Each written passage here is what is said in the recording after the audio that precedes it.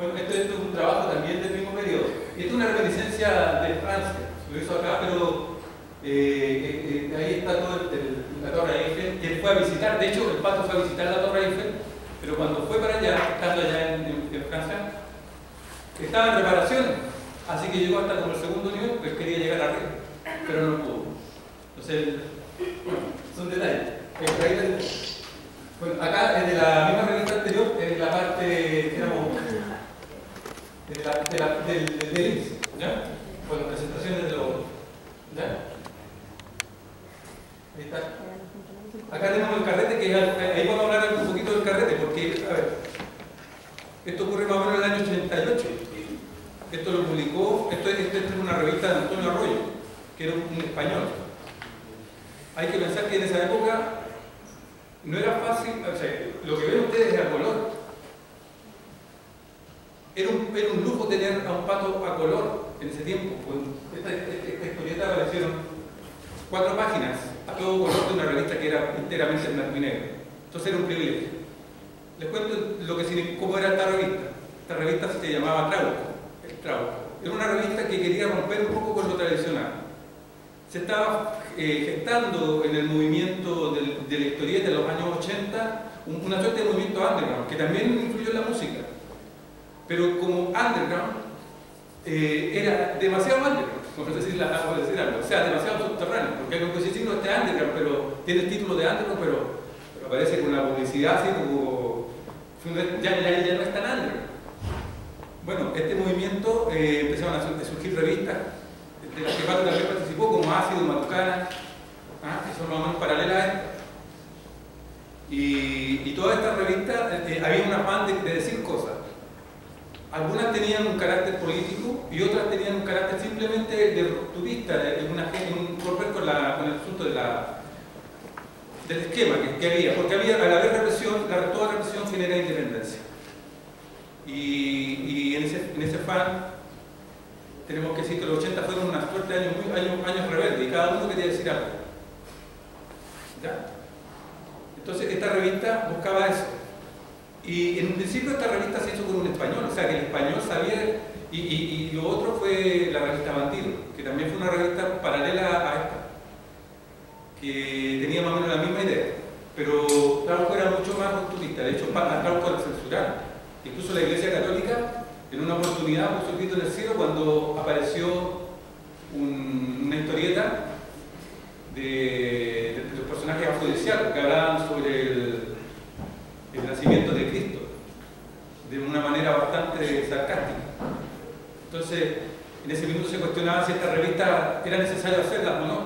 Pensemos que había un movimiento, por un lado conservador, por otro lado, por el tema de, la dictadura, todo eh, más bien pero no, no era una restricción política, porque efectivamente estas revistas tenían algo que decir eh, generacionalmente.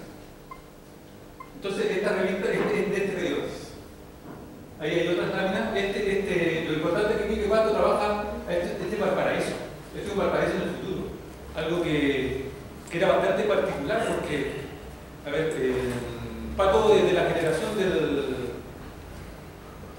la Odisea del Espacio. A Pato le gustaba mucho, el, en ese tiempo, cuando era niño, pensemos, tenía, tenía en esa época 14 años, estamos hablando de los 60, 69. Entonces todo el mundo estaba pensando en la luna, en el espacio. Y, de, ese, de, de, de, ese, espíritu son todos estos trabajos. O sea, hacer un carrete en el Valparaíso del 2000 y tanto, del 3000 y tanto, entonces, pero manteniendo las mismas características del paraíso, pero con, todo cambiado, ¿ah? y con, con, seres mutantes, en fin, una serie de otras cosas. Bueno, esa era un poco la parte de, de, lo que corresponde al, al, mundo de ficción que Pato estaba generando. Entonces, los rupturistas, los rupturistas quedaban en segundo plano cuando Pato apareció en estas revistas. De hecho, esta revista apareció para septiembre. Antes, esta revista eh, tenía la particularidad de que esta revista era combinada, incluso había en, en ¿cómo se llama en esta revista? Habían dos, dos, corrientes. Estaba la corriente de afuera y la de acá. En ese tiempo no se le daba mucha importancia a, la calidad de acá. Pato llegó a ser una suerte como de destello luminoso. ¿Ah? Acá aparece Maldito, también de ese periodo.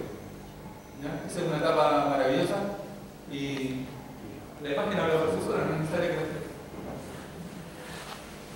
Acá también, también hay, se pueden dar cuenta, por eso les contaba un poco, también de medio futurista. El primero era un, astronauta y acá también vemos este, porque aquí se combinan dos cosas, que es lo ecológico y lo, lo futurista. En esta historia se llama cuarto ambiente. Acá ya tenemos una historia más bien eh, que habla, que retoma el, tema anterior del carrete, que este carrete que ocurre en el espacio, pero aquí está en, otra dimensión. ¿ah? Se llama Lord de Mí. Esta también apareció en Maldivas y Palo la publicó posteriormente en el cuarto. Aquí también tenemos otro dibujo. Lo interesante de esta lámina son, aquí eh, técnicamente hay un contraligado bastante pronunciado. Uno podría decir, y, y, bastante exagerado, y lo, interesante es que el trole le da el piso. Si no estuviera el trole, uno podría pensar en esto hasta dónde sigue. Y el trole afirma la, la, imagen. O sea, lo fundamental de Pato es que aparte de, ser un ilustrador maravilloso, tenía una, una, capacidad increíble para poder ubicar en el espacio diversos elementos que, que por lo demás a él le fascinan. Porque, por ejemplo, aquí al Pato le encanta el control. Y el pool también porque el padre era jugador de fútbol, cuando tenía unos 14 años, le gustaba jugar fútbol, en ese periodo, y por eso aparece el club Y el pato siempre lo que tiene es un elemento muy importante que es una suerte de cronista de la época. Entonces todos estos elementos permanecen en el tiempo. Y lo maravilloso es que estas imágenes hablan más allá de lo que, por ejemplo, podría decirse en un, texto, en un diario. O sea, esta imagen por ejemplo, las imágenes anteriores que les mostré, ustedes vieron que había un poquitito en caja era este, este, este, suerte de astronauta que está con su vinito en caja. Yo les, les pregunto, ¿cuándo llegaron los vinitos en caja aquí a Chile? A dirán, no, son de los 70. Y yo supongo que son de los 80. Y nadie se pregunta si ahí está el vinito en caja. Entonces, ya uno va a tener la referencia, pensemos en el 2070, 2080, ese punto de referencia es casi como un dato arqueológico, que en caja estuviera ahí, para poder construir la historia. El valor que tiene Pato entonces pasa no solamente como ilustrador, sino también como un cronista de época. Bueno, a, Patito siempre le, voy a contar un, pequeño detalle. A Patito, le, un, niño, estoy mostrando la imagen, entonces un niño una vez le pregunta, ¿por qué usted hace mujeres? Y él le costaba decir, eh, ah, voluptuosa, sí, voluptuosa, sí. Entonces, siempre aparecen en sus dibujos. Bueno, y el patito le respondió que a él le encantaba la curva. Y la mujer es curva. La mujer en esencia es curva. Y Pato como, una persona admirador de la belleza, buscaba la curva. Y si uno mira una mujer, solamente es curva. Ahora, esa curva es la que si, si, a, si, a, todos los varones esa curva nos, nos deja locos. Imagínense a Pato. Y por eso estos dibujos ustedes pueden ver, están llenos de curvas. En la naturaleza, existe eh, pero en la naturaleza no existe la línea recta. La línea recta no existe. Y él decía que efectivamente esa curva que le encantó, le encanta, es la que busca en la, mujer. O sea, y uno podría preguntar, ¿qué le gustaba más a Pato, la mujer o la curva? Buena pregunta. Acá tenemos Gaia, que también es una historia ecológica, y aquí lo, importante en esta historia, Pato, en esta historia Pato es por primera vez no es guionista. Aquí este lo hizo otra persona. Un amigo de él que le dijo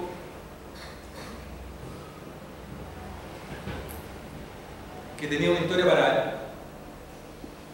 de carácter ecológico. Bueno, y bueno, este amigo siempre le recomendaba, le oye, Pato, ¿sabes lo que tú tienes que tener para los guiones? Tienes que tener todo tipo de diccionario, diccionario, pero un diccionario de anatomía, un diccionario de, mecánica automotriz, un diccionario de electricidad, y así, una cantidad enorme. O sea, lo que le estaba dando la pauta, lo que pasa es que, por ejemplo, nosotros como los dibujantes, eh, a veces nos, nos, proponen hacer cosas que nosotros en nuestra perra vida no hemos hecho. Y sin embargo tenemos que coger un, no sé, pues, alguna vez nunca habíamos visto, no sé cómo era algo. Hay una frase, no se puede dibujar lo que no se conoce, por lo tanto, eh, en este caso lo tangible, más allá de lo imaginativo, lo abstracto. Entonces, en este caso, había que informarse bien.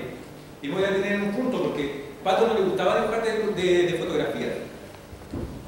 Pato me decía, Nino, no me gusta a mí dibujar de fotografía, o sea, a mí lo que me gusta es que, a ver, que el dibujo represente lo que yo tengo dentro, que surja. Íbamos caminando un día en la calle y nos encontramos con un tipo que tenía problemas de, de, demenciales, era un tipo ido. Entonces él me dijo, hace tiempo que tengo ganas de, dibujar, porque él, observaba hace tiempo que tengo que dibujar uno de estos personajes, porque la verdad es que eh, algo tiene que salir de mí, de lo que observo en él. Esa también era la ciencia, en otra oportunidad también, a propósito había una, niña rellenita, y él decía, mira qué bonita, y me decía, sería muy bonito dibujar. Efectivamente, la naturaleza, lo que pasa es que, a ver, lo que yo creo que esto es casi como un mensaje. Generalmente existen muchos prototipos, lo que pasa es que nosotros tenemos una parte racional que, que viene dada por la, por la formación, lo que les hablaba yo al principio. Entonces, se nos, todo viene dado por la, por la razón, por la lógica. Entonces, tenemos como en el, incrustado en el inconsciente la mujer perfecta, los detalles perfectos, y Pato lo que buscaba precisamente era romper con esa lógica. Por eso encontraba ello todo. El detalle sutil. Entonces, eh, la invitación que hace Pato es esa, a encontrar la belleza en todo. Entonces, muchas veces muchas mujeres se sienten pequeñecidas por su forma, y sin embargo tienen la grandeza que las rodea y las, dijéramos, las envuelve por eso mi misión en, este, en esta entrevista es mostrar la visión de Pato, que es una visión libre de prejuicio. Pato me decía, cuando veía un objeto, me dijo en una oportunidad antes de morir, que era, era un sueño de él, pero que no lo había hecho. Me dijo, tengo ganas de hacer unos juguetes de pintarlos yo. Pero no tener el juguete acá, por ejemplo, el Octito, el Patrulla, él, él tenía a su hijo Martín que está por aquí. Y seguramente él veía los juguetes que tenía, yo.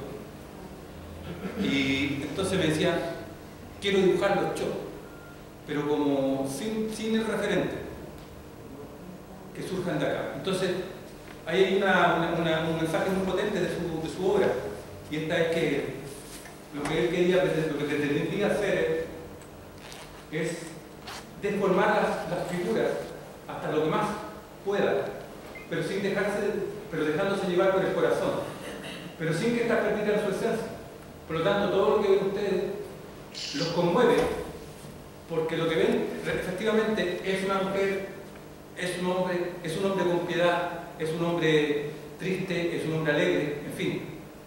Pero con la visión y con las manos de Pato González. ¿Te puedes seguir mostrando más?